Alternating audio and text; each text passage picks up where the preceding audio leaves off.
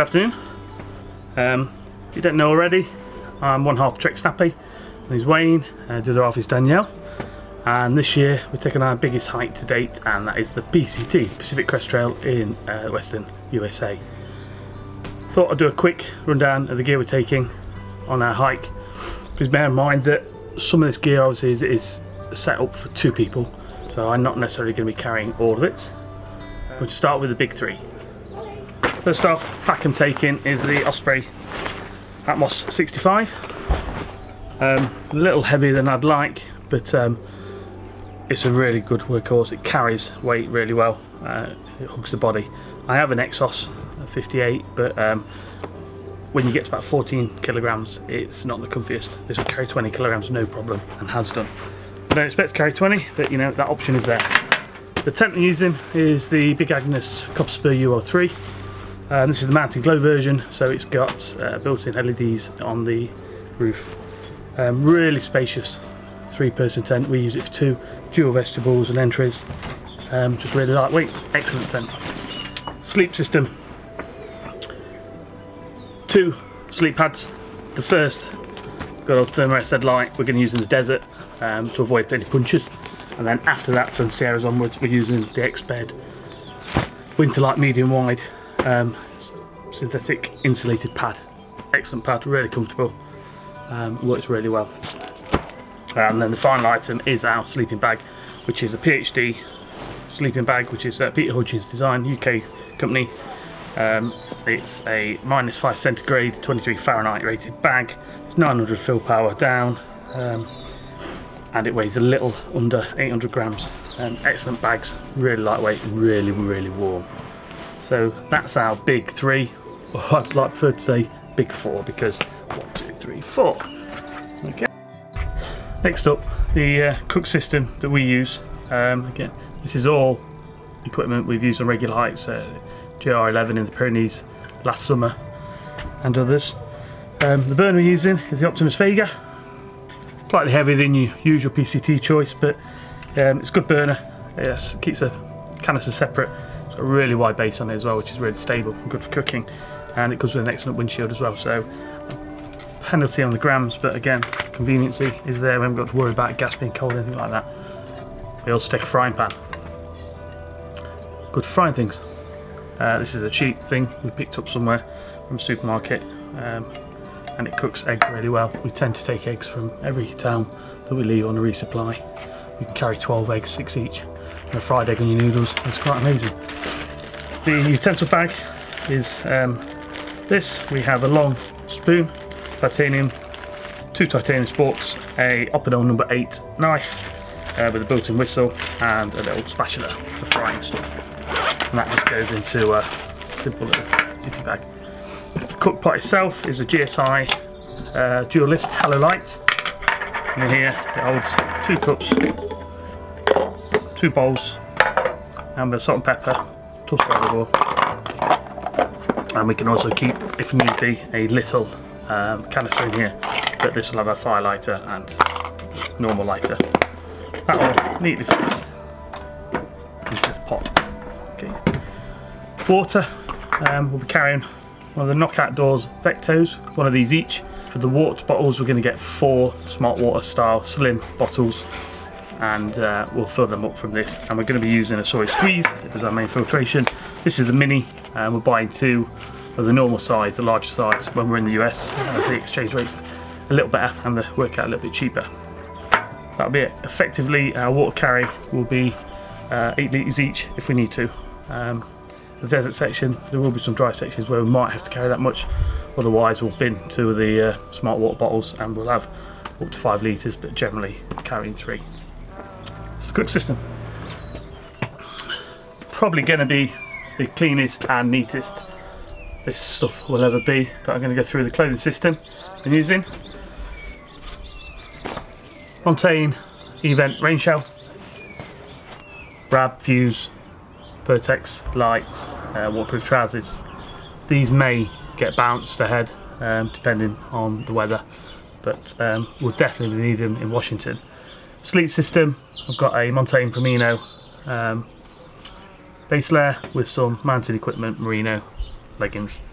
Um, nice sleeping, gives us options and keeps the bag clean. Puffy is a North Face Trevail hoodie. Um, got this a real bargain earlier in the year. Um, there are light, um, probably warmer ones, but I've got this, it works and it'll do. Um, wind jacket, Montane Via Trail. Trail. Again, comes in handy, mountain passes, breezy days, may or may not get bounced if it's not getting much use. A little bit of extra mid layer, I've got a Montane Allez micro hoodie. Um, it's a power uh, grid system. Um, really is good for adding warmth under either a, a, wind jacket or a rain jacket on top of your base layers. Warm clothing, I'm going to have two pairs of uh, Karrimor running shorts, um, nice and light, quick drying. I don't like uh, walking trousers so shorts work for me. Um, I've got Adidas Terrex Merino t-shirt for uh, when I want to wear a t-shirt and a long sleeve outdoor research uh, t-shirt. This is generally for the uh, desert areas, keep the sun off my arms, I burn quite easily. For colder days, um, a bit of layering system, I've got some Adidas Tech Fit uh, compression leggings. These work well with the shorts and t-shirts and will keep me warm on windy, windy days. Um, but uh, they're really comfortable to wear. Got Montane running cap, icebreaker merino beanie, icebreaker uh, merino buff, uh, Julbo Montebianco sunglasses, um, definitely needed for the desert and the Sierras. Four pairs of Inov-8 uh, ankle running socks, these are merino wool as well. Probably four pairs is excessive, but nothing like having dry, uh, clean socks to put on after a hot day or even midday. We've also got a pair of sealskin waterproof socks each. Um, we're going to try these out in the Sierras after river crossings is we're going to walk through the rivers with full shoes and socks. The other end change into these which will be nice and dry and waterproof and we shouldn't then get soggy feet. That's the plan. So these will probably get bounced ahead until uh, North Kennedy Meadows. Gloves, I'm taking two pairs. Um, these will be bounced until I probably need them in Washington. But a pair of Montane Primino lightweight gloves. Um, surprisingly warm for the size and they, they, weigh maybe 20 grams. And some Montane Prism gloves. Um, these are excellent gloves, really warm and they'll come in handy in Washington. Cool days, cold days and the two together for really cold. Um, Dirty Girl Gaiters, black diamond walking poles, aluminium, not carbon fibre, um, little camp towel, and also I've got this Fargo titanium um, digging tool for uh, leaving no trace toiletries. Um, weighs next to nothing. It's got little serrated edges for getting through roots and things like that. That is my uh, pretty much clothing system. Um, Danielle's is very similar. Obviously I like blue and this should work. Anything we find isn't working too well or, or not getting used, for instance that, um, and maybe the leggings will just bounce forward until we need it. But um, all in all a fairly lightweight setup. We're not ultralighters by any means, we, we, are comfort light, but um, all these things are, are, tried and tested and they work for us. Okay, electronics and camera equipment. This is probably the single most uh, heaviest category or items. We both carry Kindle, Paperwhite. We like to read, um, end of a short hiking day, uh, it'd be nice just to relax and read. We've got these packed full of books that we haven't read yet. Goal Zero solar charger. We've had this for a long time. It works, it's reliable and will keep things topped up on the go. Head torch is the Black Diamond Spot. Simple enough, um, nice and bright with the red light as well. I also carry a small little bag with some repair bits and bobs in, pole repair, some seam sealant, some tenacious tape, some guy lines, needle and thread, and some super glue. Just for emergency. Camera equipment.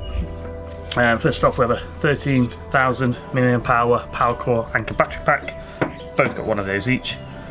And you come to the main camera gear, well, little battery pack here and that's for the tent lights. Um, just a little 2,000 milliamp hour one. SD card holder, got about 500 gigs worth of SD cards. Syrp, um, variable ND filter for filming. Two other filters, I've got a uh, circular polarizer and uh, 10 stop filter for time lapse. Small little Eagle Creek wash bag, which I use as holding for electronics. Clearly lightweight. It's got everything in there as well as a few cables, USB leads, that type of thing. GoPro Hero Session, uh, just standard HD version. Comes in handy, waterproof uh, when it's raining. Put main cameras away, and uh, we just use that. We've got a USB powered battery charger for the Lumix, uh, two spare batteries. I have the Panasonic 20mm f1.7 lens and the Olympus 45mm f1.8 lens. I also will be carrying the uh, Olympus 9 to 18 which is on this camera and I also have the Olympus 12mm f2 lens. Danielle tends to have that on her GX7 um, and the others are spare, just give me options focal length, some options with focal length. The main camera I'm taking is the Lumix G9 which is um, Panasonic's latest photography beast. It's an amazing camera it's got wonderful features, it's got top-notch video as well as some wonderful uh, photography features, notably the time lapse which is what I love doing. And all this is going to be useful with a tripod. I've taken a standard Manfrotto compact light, um, quite an inexpensive £40 tripod. Took the top off and I've fitted a decent ball head on the top. Um, this weighs in under a kilogram, which isn't bad for a, a you know 1.4 meter height tripod. Um, it will come in handy, especially for time lapse. I've tried GoPros, uh, sorry, um, I've used Gorilla Pods before, but I find that um, you just ain't got the height. Yeah, you got that option. So that's it, that's electronics. All this lot fits into here. The camera generally will be sat on the pack on a Peak Design camera clip. Um, so that'll be sort of carried and worn. Not much else to it. Again, I will carry most of these and yeah, we'll probably end up with the solar panel.